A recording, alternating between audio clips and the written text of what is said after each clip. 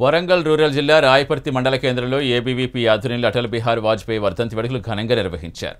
దేశం కోసం తన జీవితం త్యాగం చేసిన మృదు స్వభావి రాజనీతిజ్ఞుడు భారతమాత ముద్దుబిడ్డ భారతరత్న అవార్డు గ్రహీత మాజీ ప్రధాని అటల్ బిహార్ వాజ్పేయి చిత్రపటానికి పూలమాల వేసి నివాళులర్పించారు. ఈ కార్యక్రమంలో మహేందర్ గణేష్ తదితరులు పాల్గొన్నారు.